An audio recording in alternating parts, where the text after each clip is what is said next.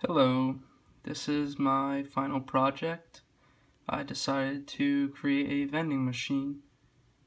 Um, so I started out by creating my high level state machine and I'm going to start in the initial state where t gets 0 because the total of a vending machine will start at 0.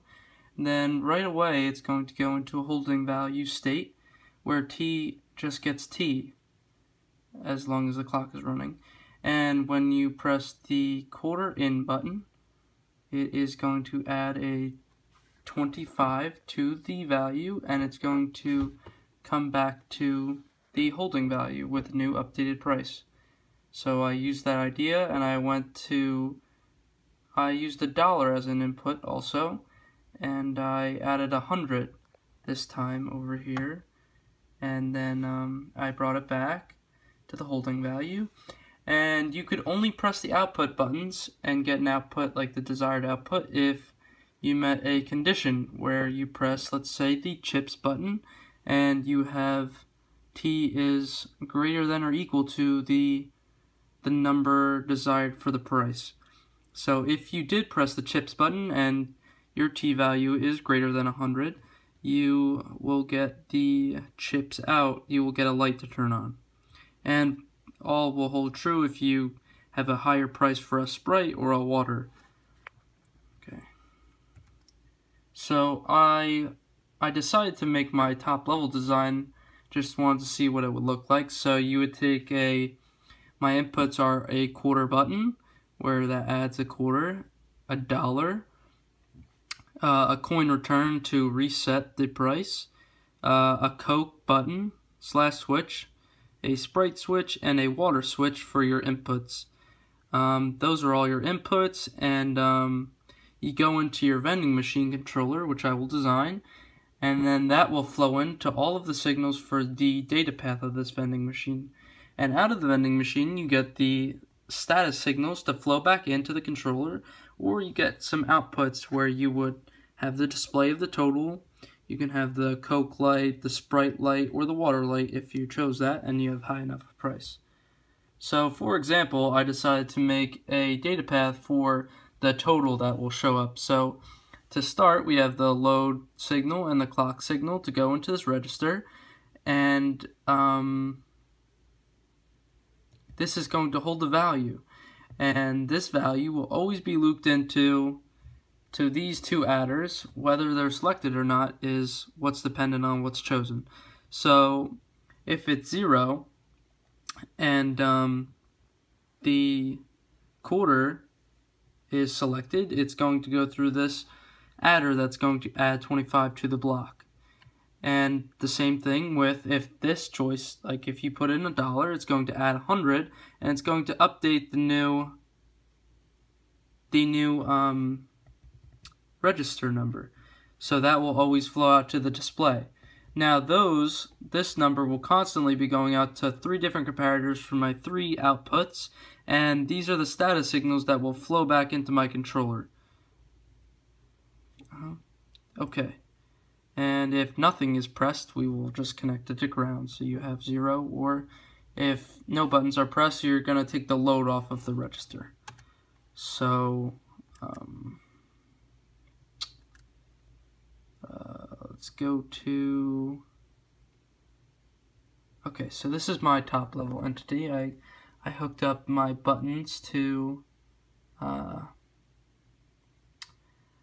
button number two is a quarter, button number one is, uh, it's a, what's called, um, it's a dollar, another button is connected to the coin return, and the clock is always hooked up so that at the positive edge of the clock, it will make your action happen. So it goes into a uh, the button, you have the reset, the the clock, different buttons, and then that enables the switches and everything, and that goes out to the display and multiple displays. So then the next the next one I brought I'm bringing you to the data path I've created this is the data path. It's going to, this is my, my register. That's going to flow in and add, I, uh, it's going to add 25. So the first piece that I tried to make was um, a data path that could ju just add a quarter to make sure that it was working. And um, I hit a hit a spot where I couldn't add 25 because I didn't understand how to. But the idea is here that um, if a quarter was pressed, you initiate the switch, and if the if the switch was pressed, it's going to allow the 25 to load into that register and update the display. Um, yeah, so I tried to div divide and conquer this problem by just going smaller, and I unfortunately could not get this to work. So then I go to my next piece of this puzzle, and um, let's see. I tried a lot here. uh,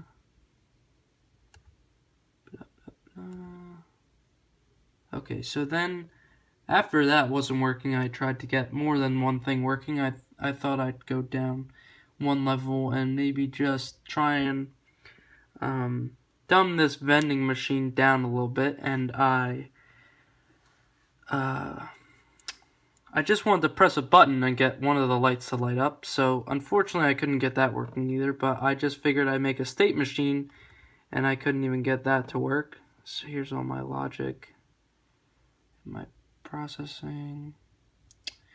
Um, yeah, so unfortunately it doesn't work, but all of the design is, uh, it's correct. I just, I got stuck when I had to try and add the original value to a, to a regular number. I even tried different Verilog, uh, different Verilog files to just add maybe, you know, uh, I even tried to maybe even go through the the one incre one bit incrementer that you showed me in class and I thought I could do a for loop to go through that 25 times and then come out before that but I couldn't even get that to work um,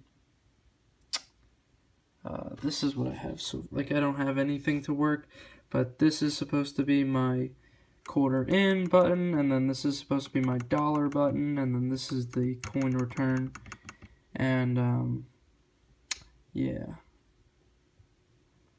Well, that's it. That's all I have for my final project. But, um, uh, yeah. Alright, my name is Christian Marcy. This is my final project. I chose to do a vending machine by myself. Uh, came out to be a little bit more complicated because I tried a very complex design to start with, and then tried to go smaller and smaller, and unfortunately I could not get it to work.